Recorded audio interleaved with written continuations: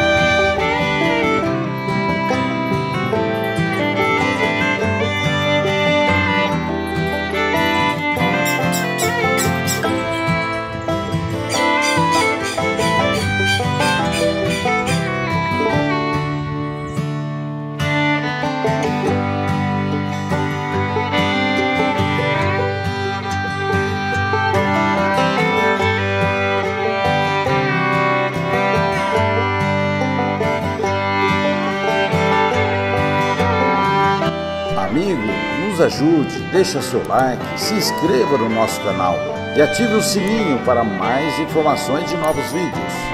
Aqui fica o nosso muito obrigado.